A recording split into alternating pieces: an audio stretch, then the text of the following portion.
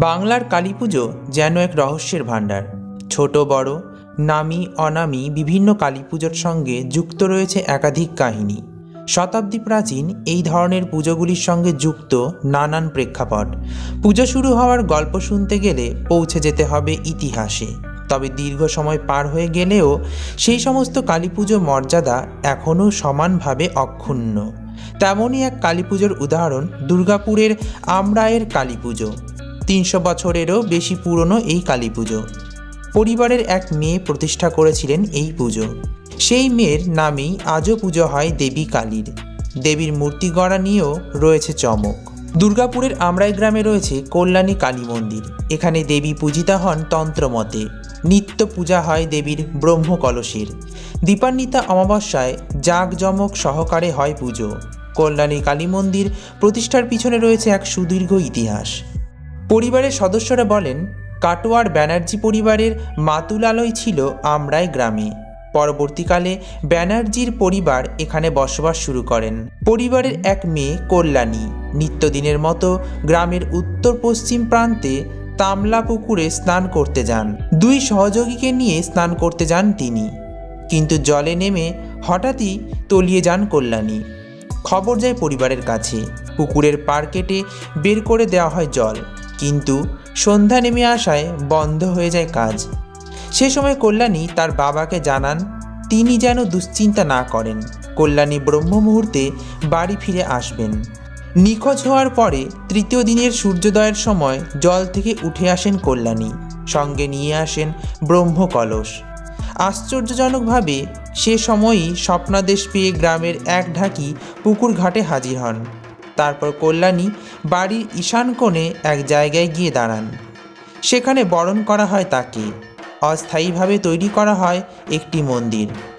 প্রতিস্থাপন করা হয় ব্রহ্মকলস। তারপর থেকে আজও চলে আসছে সেই একই নিয়ম।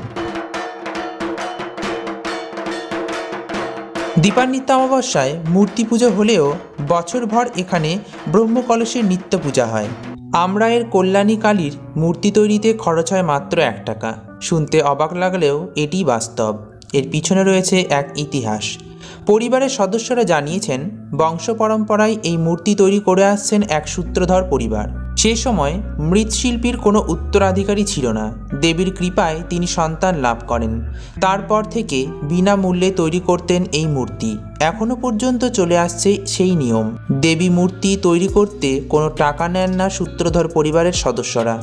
এমনকি মাটিও আসে বিনামূল্যে। পরিবারের সদস্যরা প্রতীকী রূপে ষোলো আনা দেন মৃৎশিল্পীকে, যদিও সেই টাকা মৃৎশিল্পী বেদিতে রেখে যান। তিন শতাব্দীর প্রাচীন এই পুজোয় এখনও চলছে এই একই নিয়ম।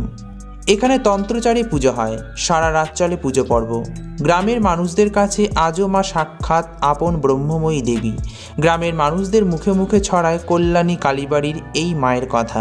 ভক্তদের কাছে দেবী আজও জীবন্ত কালী। তিনি আছেন মানেই সব আছে, সব নিরাপত্তায় আছে। ভয় এলে তা দূরে চলে যেতে বাধ্য। এমনটাই বিশ্বাস দুর্গাপুরের কল্যাণী কালী মন্দিরের ভক্তদের। কারণ তাদের বিশ্বাস দেবী কল্যাণী আজও জীবন্ত। তিনি কালী রূপে এই মন্দিরেই বিরাজিত। কেন ভক্তদের এমন ধারণা? এর পিছনে অবশ্যই কারণ আছে। সেই কারণ হলো ভক্তদের প্রত্যক্ষ উপলব্ধি। তেমনই এক প্রত্যক্ষ উদাহরণ হলো, এই মন্দিরে এক চোর চুরি করেছিল। কিন্তু প্রণামীর অর্থ সে আর নিয়ে যেতে পারেনি। পথেই আচমকা সে গুরুতর অসুস্থ হয়ে পড়ে। চোর হলেও সে বুদ্ধি হারায়নি। মন্দিরে ফিরে এসে দেবী কল্যাণী কালীকে প্রণামীর অর্থ ফিরিয়ে দেয়। ক্ষমা চেয়ে নেয় দেবীর কাছে। অলৌকিক কাণ্ডের মতনই এরপরেই মুহূর্তেই সেরে যায় তার জ্বর। সে নিশ্চিন্তে ফিরে যায়। এ তো গেল একটা ঘটনা। এরকম অজস্র কাহিনী রয়েছে দেবী জীবন্ত কালীকে ঘিরে। এর মধ্যে অন্যতম কাহিনী হলো, এক মহিলা কঠিন ব্যাধিতে আক্রান্ত হয়েছিলেন। তার মৃত্যু প্রায় নিশ্চিত। সেই সময় তিনি ও তার পরিবারের সদস্যরা দেবীর কাছে ওই মহিলার জীবন ভিক্ষা করে। সেই আবেদন যে কান পেতে শুনেছিলেন দেবী, আচমকা দেখা যায়, সেরে গিয়েছে দুরারোগ্য ব্যাধিতে আক্রান্ত ওই মহিলা। শুধু সেরে যায়নি পরবর্তীতে তিনি আরও কুড়ি বছর জীবিত ছিলেন। এরকম আরও অনেক অলৌকিক ঘটনা রয়েছে জীবন্ত কালী মন্দিরকে ঘিরে। আশা করি আমার প্রিয় দর্শক, আজকের এই ভিডিও আপনাদের ভালো লেগেছে। যদি ভালো লাগে, চ্যানেলটি লাইক, কমেন্ট, শেয়ার এবং কমেন্টে জয় মা কালী লিখুন। আর যদি আপনারা মাকে ভালোবাসেন বা আশীর্বাদ পেতে চান, তাহলে অবশ্যই একবার ঘুরে আসুন এই মন্দির থেকে। সকলে ভালো থাকবেন, সুস্থ থাকবেন। দেখা হবে পরবর্তী ভিডিওতে। ততক্ষণ পর্যন্ত নমস্কার।